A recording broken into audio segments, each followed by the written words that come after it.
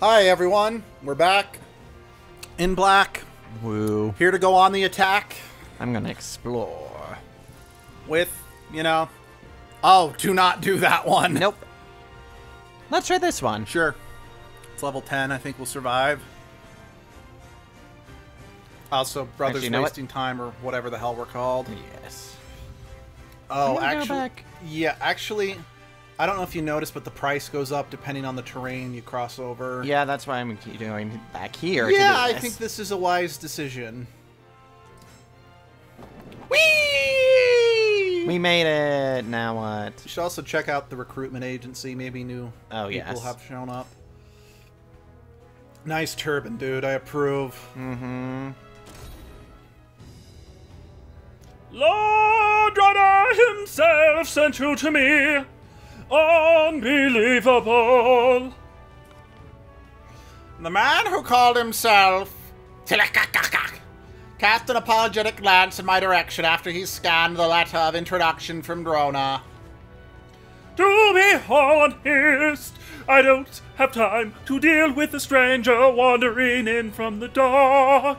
I may be not, I may not be heard enough to war with the soldiers, but I'm still very busy.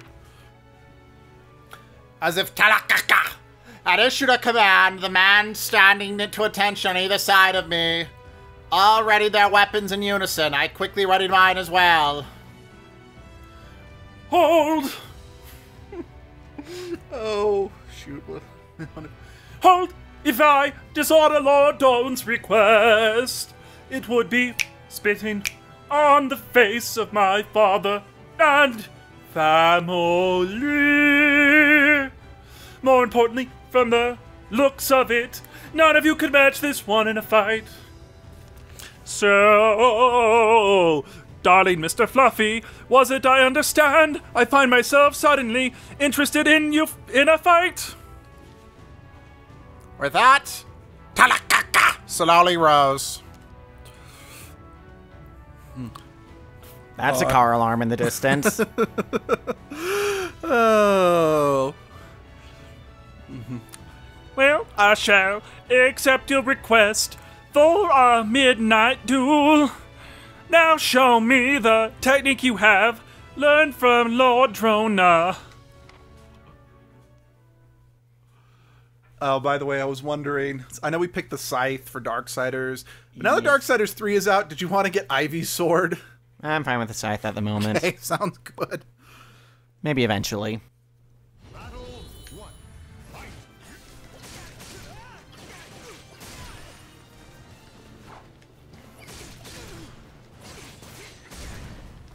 You know, I'm not gonna lie, this might be racist of me, but I look at that guy's design and I don't expect that type of sword, you know? Because it's like, I know Siegfried's fighting style had a much thinner sword that just would match that design better. Again, I don't mean to historically profile people who wear turbans. I don't know, I'm just saying that just doesn't look like what I'd expect this character to wield.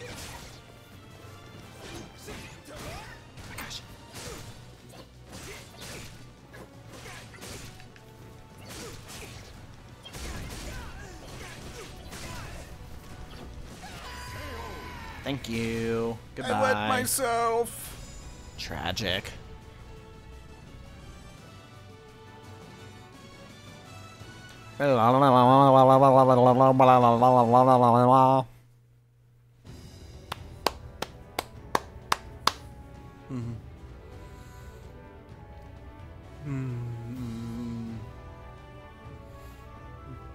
Not only have you demonstrated great skill and fearsome technique, but also incredibly poise. I yield, great warrior, and I present you with this.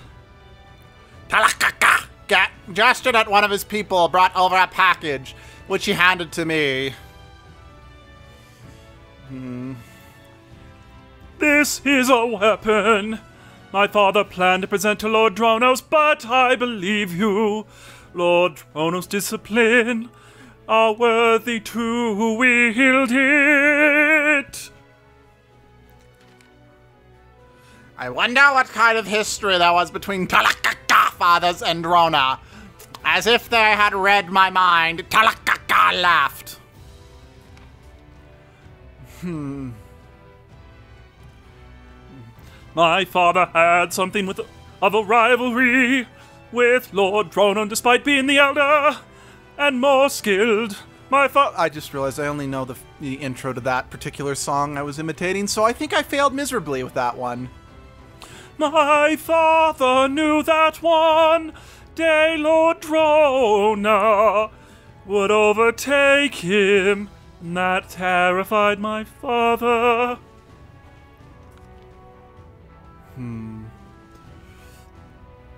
However, he vowed to be graceful in what he saw as an inevitable defeat in his will. He bequeathed this weapon to Lord Drono as a token of respect. But now, I want you to have it. What? What's with that smile, you little Absolutely smug bastard? Drona. Drona would likely be very happy to hear that.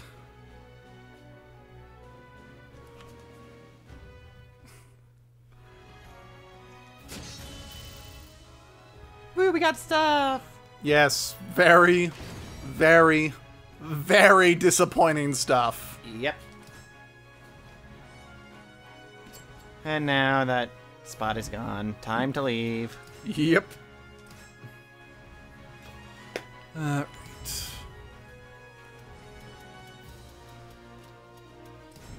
Alright. Alright.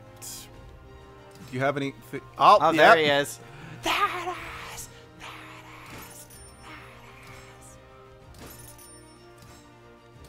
Now, amusingly, now obviously, this person's meant to wield a katana or a Mitsurugi style, mm-hmm. but I think just to randomize things, they give them random weapons. So, so yeah, I'm just trying to remember some really funny examples of just custom-made characters that had weapon that really just didn't make any sense. Yeah, let's do this real quick.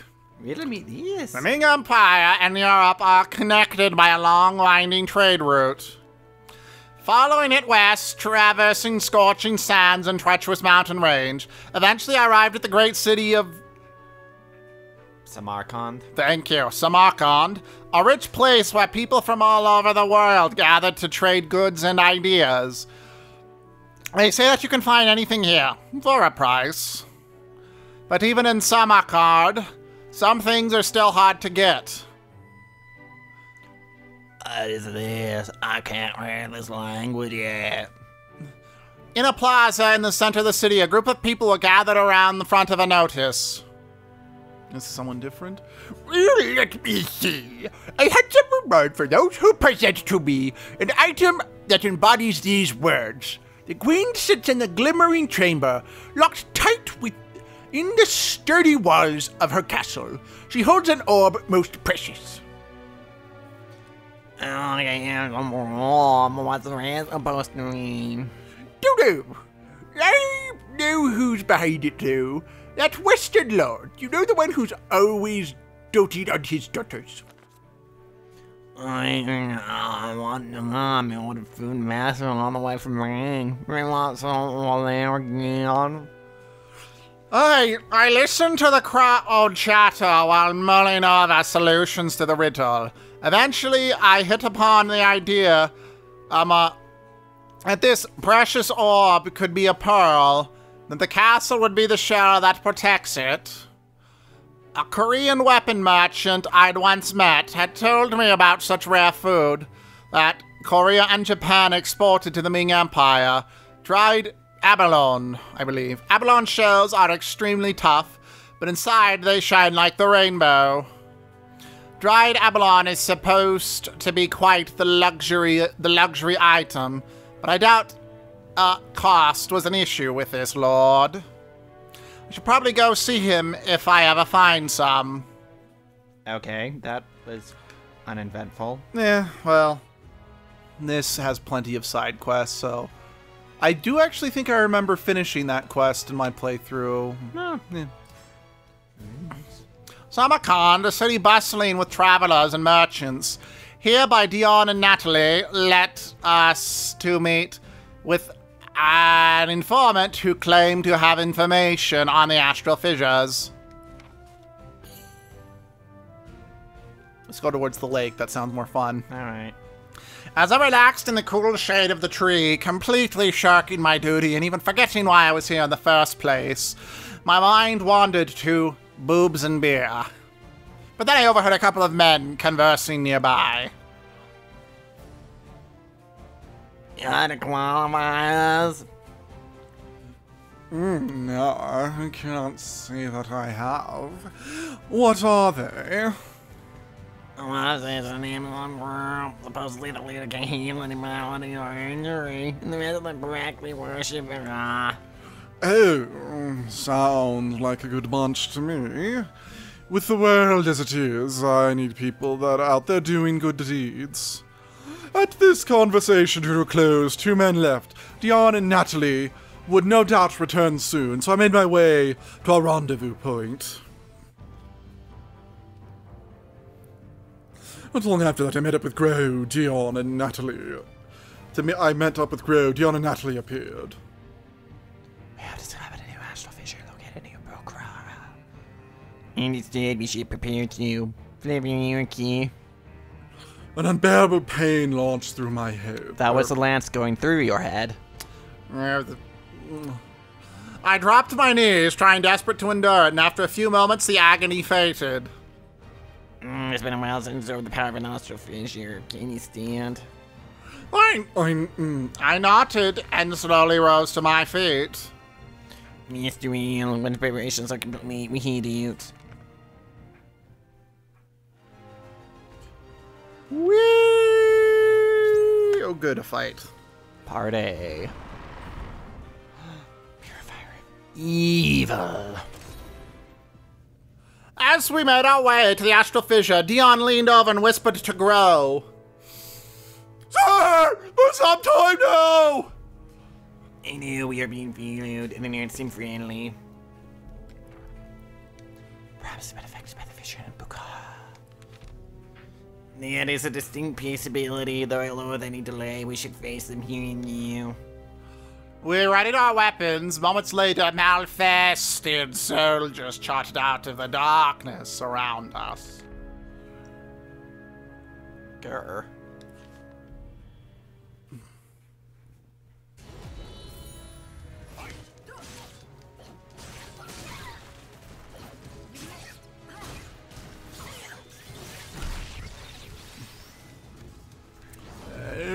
There goes your throat.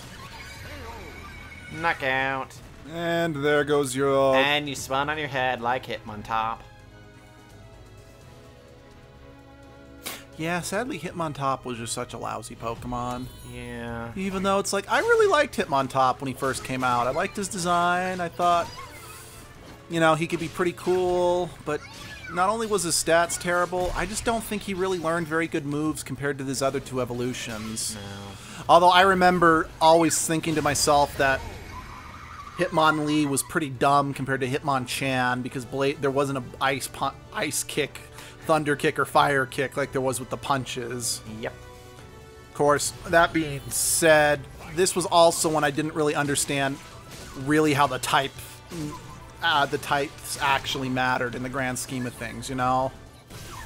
Or heck, I remember when I was facing a water gym in it was Johto, not Kanto. I kept trying to use Ice Punch because I assumed, well, ice freezes water. That's what all the cartoons showed me. So ice should be effective against water, right? I mean, hell, I don't think I found out what fighting poison and uh, fighting poison and bug were almost strong against until fourth generation because that just didn't really matter to me. Yeah. I mean, heck, I seem to remember thinking that bug and grass were interchangeable as a kid. Because I remember in uh, Pokemon Colosseum, I dropped. I remember I dropped my uh, grass Pokemon for a Vibravana because I thought Vibravana was bug, and those are the same things, right? Not even remotely close. I mean, first gen, they were kind of. Yeah. And all you really needed to know was Psychic was broken and couldn't be beaten. Yeah. Which is also unfortunate because first that's when Bug would have been the most useful, technically speaking, but good heavens, with the exception of maybe Venomoth, there are no good bugs in the first generation. I know Butterfree is okay, but Ugh, just good heavens, if you know what I mean. I feel like it was fourth gen when Bug actually became somewhat usable. Yeah, because second gen, when it came to Bug, they added Heracross and Scizor that were almost useful. Heracross is still pretty good, but Scizor is always kind of skirted the line of being good and being crap, in my opinion. But yeah, I 100% agree. It wasn't until fourth generation onward that Bug became a viable type. Mm-hmm. Anyway, dialogue. Hannah wants to get alive. Out. A Malfested, I thought, defeated, stood up and swung its sword at me. Tried to defend myself, but I stumbled as my head exploded in pain. Yeah. Grow sped towards me, arriving just in time to deflect the Malfested strike.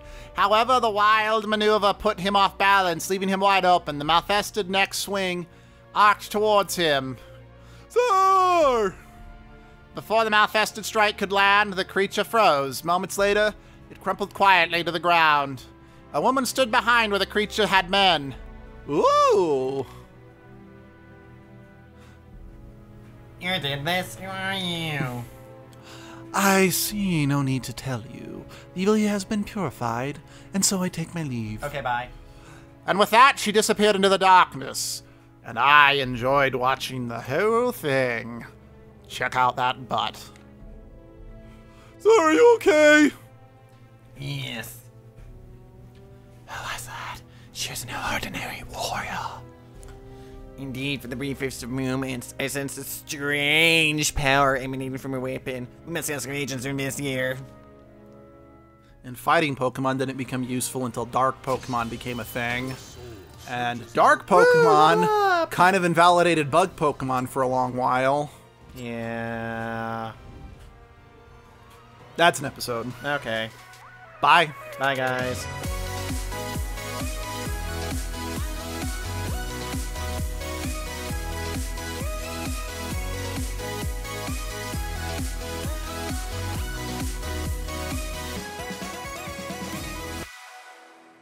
Oh, by the way, Kendall, this was the episode I texted you about.